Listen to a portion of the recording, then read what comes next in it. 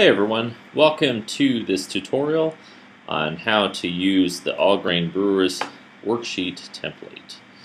Um, this is a simple template created in Google Docs using Google Spreadsheets and it allows you to build your own recipes, track your mash schedule for all the all grain brewers out there, uh, your fermentation schedule, and then have in the end a log, a complete log of each of your brews stored in the cloud that you can access from your phone, from your tablet, or your computer. So first things first is we're going to be working with our, reci our master recipe sheet here. And you'll always want to double check that you're working with the latest version. You can check by looking under the About tab in your copy of the master spreadsheet in this case, we've got revision number 6, last updated July 9th, 2013. You'll want to periodically check the master spreadsheet, uh, which is linked to in the comments section. You want to check to make sure that you're working with the latest version so that any bug fixes or new feature additions have, um, that your new master spreadsheet will contain. Okay? So, with that said, I'm going to right click on my master copy and I'm going to select make a copy. And then we're going to be doing a saison. Tis the season for it. First things first, I'm going to rename my spreadsheet. Now, you notice it's going to take a little bit of time to load in all the data that it's working with there's a tab that's called Data Link, and it's pulling in a ton of data, uh, sourcing from other uh, spreadsheets that I've uh, another spreadsheet that I've created out in the cloud. All right, so first things first is we're going to rename our spreadsheet, and I like to make my recipe with the beer name first, and then I like to put in the year, the month, and the date so that I can see in the file name itself both the name of the beer and when it was brewed. All right, first things first, there's a couple things that I would like to point out to you first. Um, it's usually good to first open up the data link tab because what happens here is it's pulling in a lot of external information.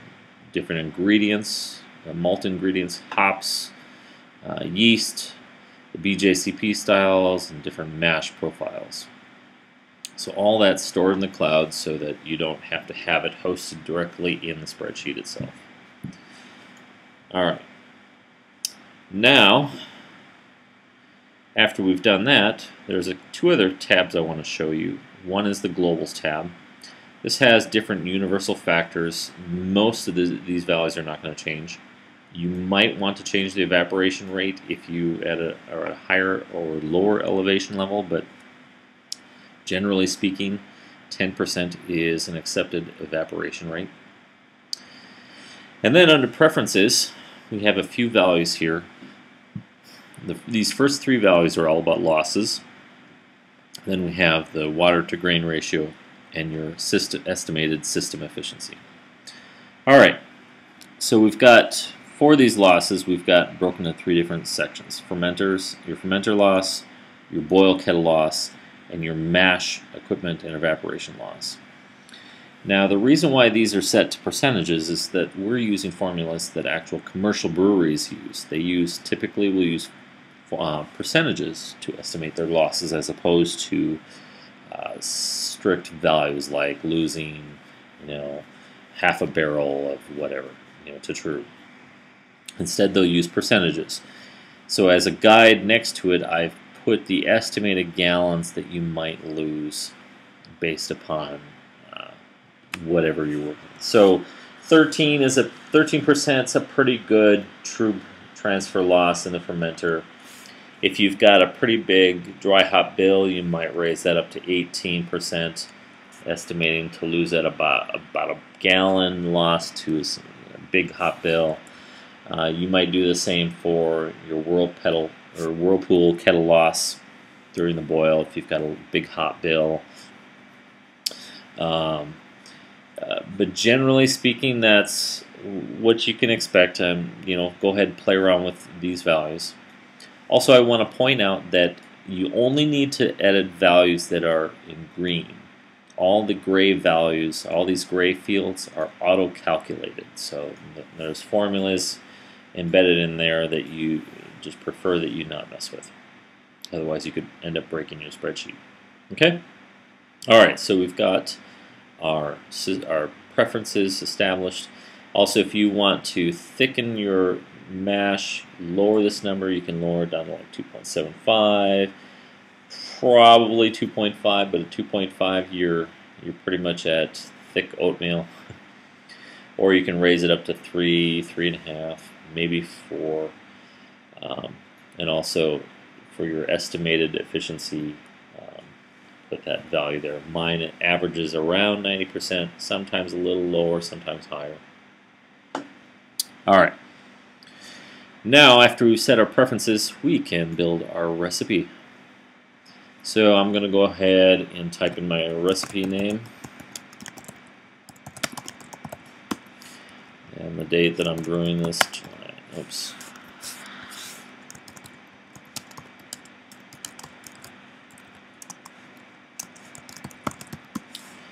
Now, the style. Gonna, this is pulling in from the BJCP style guide. Remember, if if this if these styles don't load in and all you see is a loading um, message, just flip over the data link tab and maybe it just needs a little help loading in all the data.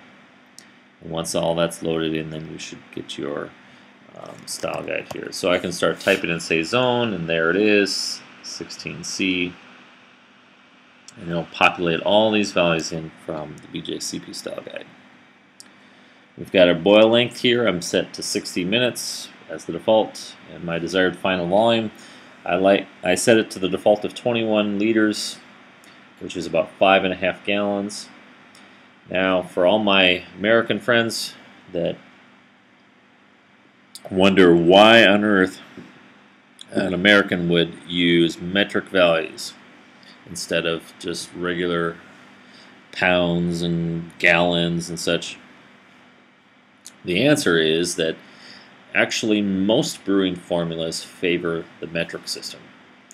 So if you actually end up start starting to learn some of the formulas and know them by heart, um, it actually becomes easy to work within the metric system. So for your convenience, I do have a metric conversion calculator on both the recipe and the mash tabs, along with uh, the um, non-metric equivalents next to them. Alright, so now that we've got our boil length set, desired final volume, we can pick our yeast. We're going to pick a Saison yeast. Uh, we're going to go Saison, Belgian Saison 2. I'm just going to put in one package. Right now, that this doesn't do anything, the amount. It's just for your own records. But you have a record of the attenuation percentages, the flocculation level, and the alcohol tolerance. Now, once we start populating the grain bill, you will notice that some of the recipe potentials will start to fill in with uh, information. So we're going to just put Pil Belgian Pilsner, and we're going to say 13 uh, kilograms. No, not 13. We want 13 pounds, so we're going to put in about, say, six kilograms. And then we're going to put in some CaraMunich malt. We're going to put in maybe about a pound, so about 0.45 kilograms. And this will give us our grist percentages along with potential gravity units from uh, our grain bill. As you can see, this will also populate our estimated estimated pre-boil gravity, estimated original gravity, high and low gravity, uh, final gravity potentials, ABV, alcohol by weight, color. And eventually we'll get to the IBUs in just a minute. Okay? So that's all there is to adding to the grain bill. Right now, the grain bill is kind of general stuff. We don't have it's not complete, but we're still adding items as we find them. And then down to the hop section, we've got two sections, one for boil hops and one for dry hops. So for our boil hops, we're going to put Hallertauer, let's say 60 minutes, and we're going to say, uh, we're going to say 50. 50 grams, which is about one and three quarter ounces. That puts us at about 21.6 IBUs, which is within style. And then that should populate this information up here. Oh, our bittering ratio is 0.33. Some styles are intended to be that low. And now the the reason why we have the boil hops and the dry hops separated is the boil hops were really concerned about a number of things. Boil usage, like when it's being added, the alpha acid percentages, and the amount that we're going to use. And then that will help give us the IBUs. With dry hops, we're really not concerned about IBUs at all. We're only concerned about records, like the days that we entered them, how much we entered in, and what form. Okay, so that is the recipe schedule, or the recipe tab. Really relatively easy to use. The only thing you're filling in is basic style information, the yeast, amounts, grain bill, but at the same time you're getting a lot of information um, that can help you out along the way. Remember that you're only filling in the green fields. You want to leave the gray fields alone because those have formulas in them. Okay? Alright. Forgot to change that to pellet. Alright. Let's move on to the mash tab, which is our brew day. You'll notice that we've got all of our uh, water values already calculated, how much water we're going to need for the mash and how much water we're going to need for the sparge. You'll notice that a number of other values populated here, like we can see the volume that we can expect to go to the fermenter, what the knockout volume is going to be like before wort shrinkage and all that, um, what we can expect to lose in evaporation, starting kettle volume, the amount absorbed by grain and mash uh, equipment and evaporation losses. And so this will be the total water that we'll be using. So if you heat all your water at once, that's how much water you're going to need. 10.5 or 10.7 gallons or 40.5 liters. All right. Below that, we've got our mash profile. By no means this is this complete. We're still adding a bunch of um, different mash schedules, but it will eventually will populate all of you know populate temperatures and how long to rest at those temperature ranges. And next to that, a small table for entering in the actual values. And the reason why this is here is really just to give you a guide or a reference as to a record of how much time and what the temperature was this doesn't actually calculate anything, it's just actually intended to give you a record of what your brew day was like and and what you what your actual values were. So let's say let's say your mash out took forever, you can put that here and then if something is not right about your beer, you can say, well, let's see, here are all my values. Here's what my mash schedule was like and my pH at that point, 5.5 or whatever. Alright, and after you've got your mash information filled in, it's time to collect. Right below that is your pre-boil gravity. So we'll say we've got a, uh, we'll go 11, which uh, we'll go 13. So my pre-boil gravity is 13 Brix, which I'll, well, you can see it in Plato as well as a specific gravity.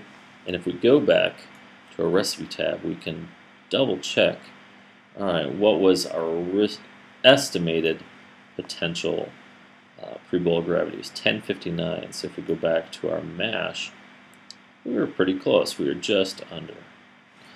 All right, We'll also collect our volume, so let's say we collected 30 liters, which is just shy of 8 gallons. Our mash efficiency then was 83.1%. Obviously, if we had a better brew day and we collected 15 Brix, you know, then our mash efficiency goes up. But we'll just say 13 for now. And that's all it is for the mash schedule. Really, it's just designed to be really simple and not a big hassle. We're just recording a few pieces of information. And from here on, between this and your boil, you might use your re the recipe tab to reference when you're going to be adding all your boil hops. Um, but as far as timer goes, this is where you would use your own timer or whatever you prefer to keep track of when your mash schedules are up or when your uh, boil timers are up. All right, after the boil is complete, we'll use the fermentation tab to track our fermentation schedule. So let's say our opening Brix reading was, let's say, 16 Brix, which is 1068 for starting gravity. If we go back to a recipe, potentials, uh, 1065 was original gravity. All right, let's bump that down. We'll say that we are at 10, 15 Brix for our opening specific gravity. Um, temperature here is just for your reference, so you can put whatever you want. It can be in Celsius, it can be in Fahrenheit. I, I really don't care. Um, so we'll say 68C. I'll fix that color. Um, and then as your fermentation goes, you can track um, its progress along the way. You can say we're going to ramp up our temperature, and the next day it went down to 10. And then the next day we ramped up to 73, and then finally dropped out at 7 Brix with a specific gravity of 10.08. Maybe it settled out there, and we're at 76 degrees temperature. So we'll put in our final gravity here of 1008. That gives us an ABV of 7.35, ABV alcohol by weight of 5.98, 223 calories. And that's really all there is to this. It's really simple to use. Obviously, your fermentation schedule is not going to go that quickly necessarily, but you get the idea of, of how this works. Um, you can track your recipe development here. Also use this recipe tab for uh, a reference of your hop additions during the boil. You've got a mash tab here to track uh, your mash temperatures and times along with measurements of your pre-boil and uh, gravity and volume levels, and then your fermentation record. With this spreadsheet, you have everything that you need to know to, to track the history of your beer, to see what went right and what went wrong with your brew day. Um, you have all the numbers and all the most of the fields necessary to make it uh, keep better track of your readers. And because this is a spreadsheet, you have the luxury of putting notes in wherever you want. So let's say you want to put in some notes about your mash, you can, you know, mash, you know, I can say I had a stuck mash, had to recirculate, you know, whatever. You can put in your notes wherever you want within the white areas or the off-white areas and keep track of that. Alright, but that's basically it. If you have any questions, go ahead and please post them in the YouTube comments, or you can look me up on the Brew Nerds community. My name is Michael Tangen, and you can post them there, and we'll do our best to answer any questions that you've got. I hope this spreadsheet proves to be useful for you. And if you have any feature requests or you notice any bugs or formulas might be off, uh, please call them to my attention and drop me a line in the comments. Thank you and hope it works out great for you.